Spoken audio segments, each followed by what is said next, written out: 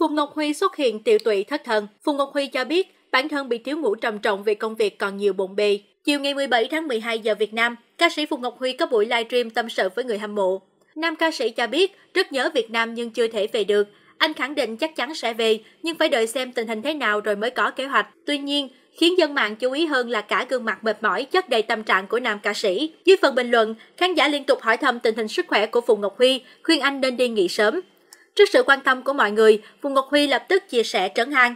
Nam ca sĩ cho biết bản thân bị thiếu ngủ trầm trọng vì công việc còn nhiều bộn bề. Chưa kể thời tiết bên Mỹ có mưa cũng khiến tâm trạng anh trùng xuống. Nay ngày làm việc, livestream liên tục từ Facebook, Bigo rồi nhảy qua trang fanpage. Nhiều lúc nghĩ mình có phải là một siêu nhân hay không mà sao lì vậy? Bỏ tay, anh tâm sự.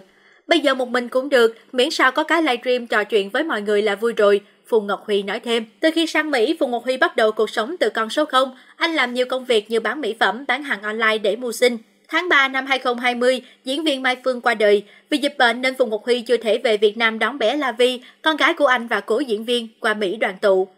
La Vi được hai cô bảo mẫu chăm sóc rất tốt, tôi lo lắng mọi chi phí của con. Cứ cuối tuần tôi gọi điện trò chuyện với con. Song ước mơ của tôi là muốn La Vi ở Mỹ, do vậy tôi muốn tập trung công việc để kiếm tiền, vừa lo cho bé vừa tiết kiệm đủ vững vàng.